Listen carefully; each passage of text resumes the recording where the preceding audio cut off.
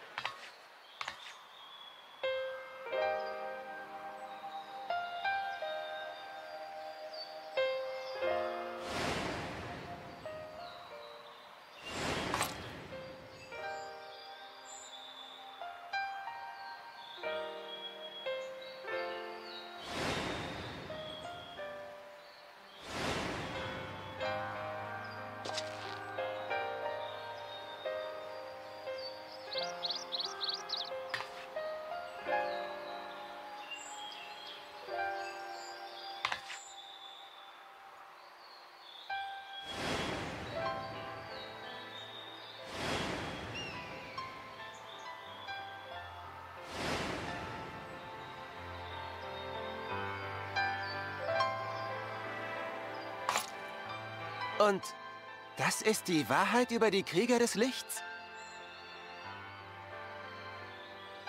Unglaublich. Obwohl sie die Lichtflut ausgelöst haben, haben sie also versucht... Ich...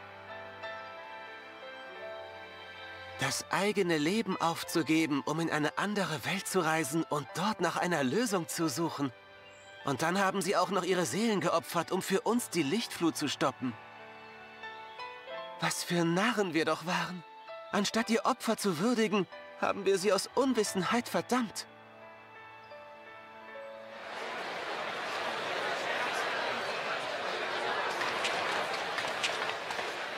Damit sollten die Namen der Krieger des Lichts endlich wieder reingewaschen sein.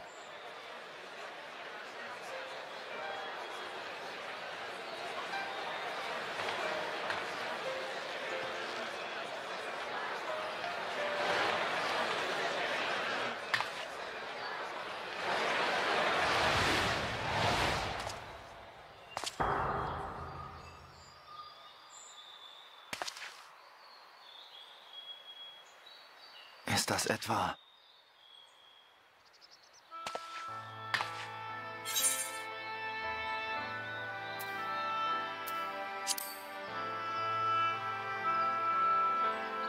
Ja, ich sehe eine Gestalt.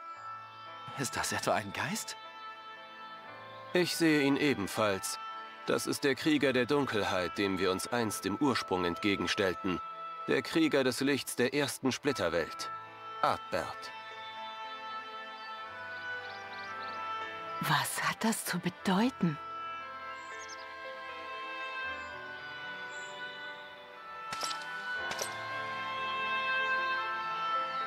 Hey! Du bist doch der, der den Sündenvertilger erschlagen hat.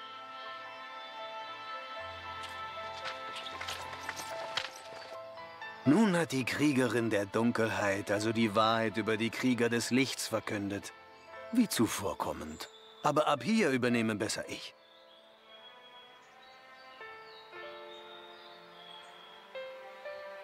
Bürger von Christarium, hört mich an. Ich bin Artbert, Krieger des Lichts. Unmöglich! Du und deine Freunde seid schon vor langer Zeit gestorben. Ja, das stimmt. Doch als die Kriegerin der Dunkelheit diese Welt von ihrem Leid befreite, wurde ich ins Leben zurückgerufen.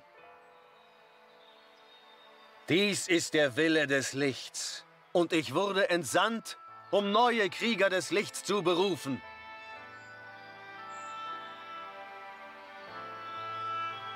Diese Heldin kommt nicht aus unserer Welt. Sie entstammt einem uns gänzlich unbekannten Stern. Und irgendwann muss sie auch dorthin zurückkehren.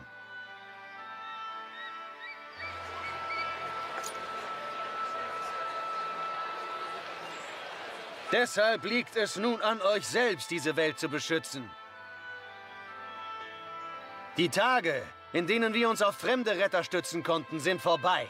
Es ist Zeit, den eigenen Heldenmut zu finden. Es ist Zeit, dass wir alle als Krieger des Lichts wieder auferstehen. Wir sollen zu Kriegern des Lichts werden?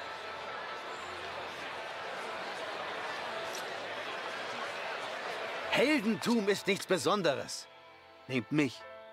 Ich wurde nicht als Held geboren. Ich war nur ein einfacher Wanderer. Und während ich nichts weiter tat, als anderen Reisenden meine Hilfe anzubieten, begann man, mich als einen Krieger des Lichts zu bezeichnen. Heute weiß ich, dass jeder das Zeug dazu hat, ein Krieger des Lichts zu werden. Und dazu braucht es nur eines. Den Willen für andere einzustehen.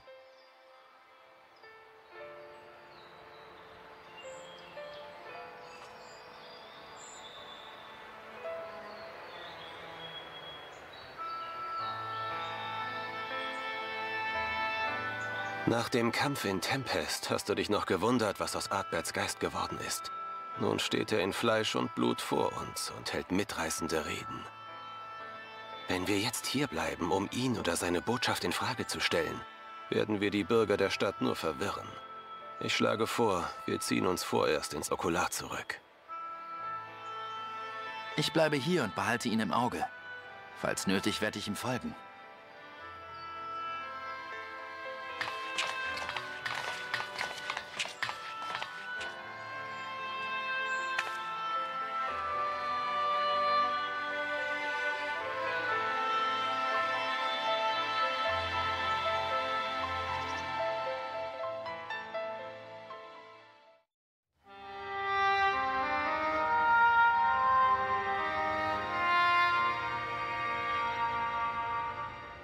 Das ist also der Krieger des Lichts der ersten Splitterwelt. Ich sehe ihn zum ersten Mal. Aber ihr seid besser mit seinem Gesicht vertraut. Ist er es ohne Zweifel?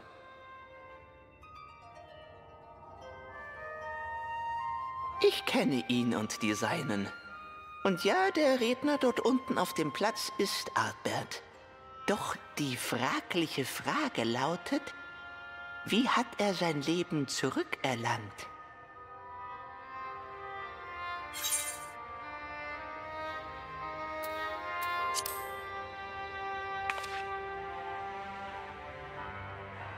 Es ist, wie du sagst. Im Kampf gegen Emmet Selch wurde seine Seele von dir absorbiert. Dein Äther strahlt selbst jetzt noch ein starkes Licht aus. Ein Beweis, dass Artbert noch immer Teil von dir ist.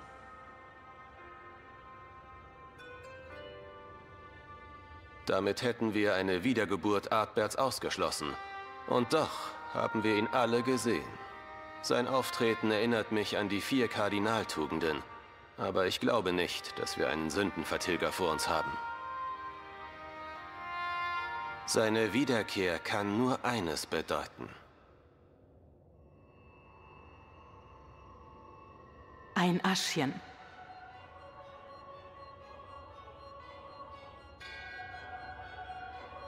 Hm. Es ist durchaus denkbar, dass sich ein Aschien seines Körpers bemächtigt hat. Ich habe gehört, dass die sterblichen Überreste der Krieger des Lichts in der Nähe von Yulmore beerdigt worden seien. Also bevor sie als große Sünder bezeichnet wurden. Alle bis auf Artbert wurden als die vier Kardinaltugenden ins Leben zurückgerufen. Damit bleibt nur noch sein Leichnam, der von einem Aschien besessen werden könnte. Wenn dies das Werk der Aschiens ist, kommt eigentlich nur der letzte der ursprünglichen in Frage.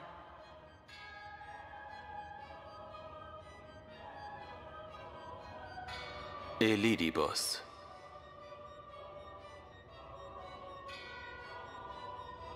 Du hast davon berichtet, dass Zenos seinen eigenen Körper wieder in Besitz genommen hat. Das heißt, der Fürsprecher musste den Körper des galeischen Prinzen aufgeben. Stattdessen hat er sich Artberts Körper bemächtigt und sich sogleich daran gemacht, das dunkle Werk der Aschiens weiterzuführen. Nun, da Emmet Selch nicht mehr existiert. Was sind das für garstig grässliche Geschöpfe, die Leichen wie eine Feiertagstracht zu tragen vermögen?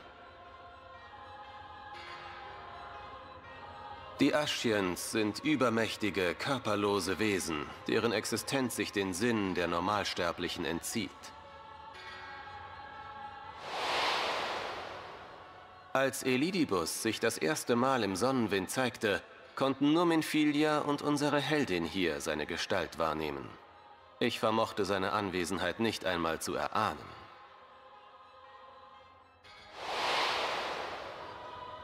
Solange man nicht über die Kraft des Transzendierens verfügt, ist es äußerst schwierig, die körperlose Gestalt eines Aschiens wahrzunehmen. Deshalb machen sie sich auch jedes Mal das Fleisch anderer zu eigen, wenn sie ihren schändlichen Einfluss in der Welt ausüben möchten. Auch bei meinem Kontakt mit Elidibus hatte er wohl vom Körper eines Fremden Besitz ergriffen, denn Alizé und Tankred konnten ihn ebenso sehen wie ich. La Habrea kontrollierte einst Tankred und Emmet Selch benutzte die Gestalt des galeischen Kaisers Solus. Es ist das gleiche Prinzip. Allerdings können die Aschiens offenbar nicht in jeden beliebigen Körper schlüpfen. Sonst hätten sie sich längst schon unserer Heldin bedient. Aber sie ist offenbar immun. Die Segnung des Lichts verhindert vermutlich, dass sie besessen werden kann. Ein anderer Grund, sollte er existieren, ist mir nicht bekannt. Gelänge es ihnen doch, wäre das eine Katastrophe. Ich wage mir gar nicht auszumalen, was dann passiert.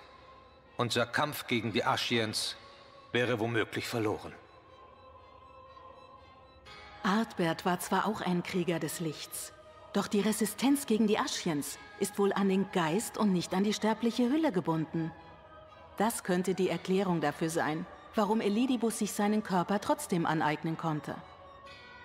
Aber dass ausgerechnet ein Aschien die Leute dazu aufruft, den Kriegern des Lichts nachzueifern, das klingt ja wie ein schlechter Scherz.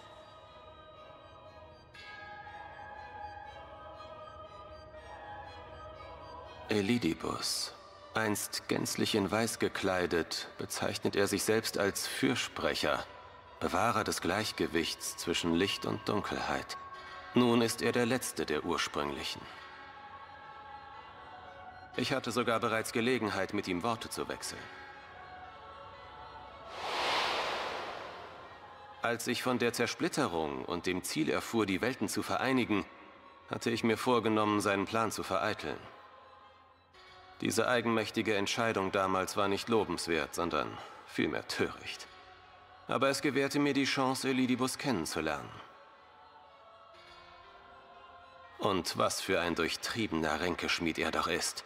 Mit nichts als Worten brachte er Artbert und seine Getreuen dazu, ihr Leben wegzuwerfen, in die Ursprungswelt zu reisen und seinen Plan in die Tat umzusetzen. Auch diesmal manipuliert er eiskalt alles und jeden, auf dass sie ihm einzig und allein als Erfüllungsgehilfen für seine Pläne dienen mögen. Und wenn wir ihm nun hier und heute offen widersprechen, so wird es die Bürger, die gerade erst die Wahrheit über die Krieger des Lichts erfahren haben, womöglich in Aufruhr versetzen. Zumal ich vermute, dass es dir kaum recht sein dürfte, wenn Artberts Andenken nun wieder in Zweifel gezogen würde.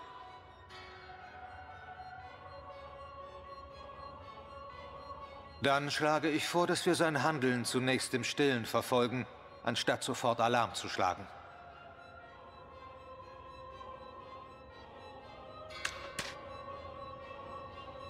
Hm. Wie es scheint, hat er seine unredliche Rede beendet. Was jetzt? Schauen wir nun stillschweigend zu?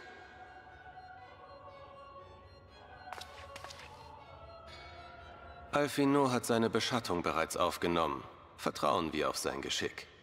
Uns bleibt zunächst nichts weiter als abzuwarten.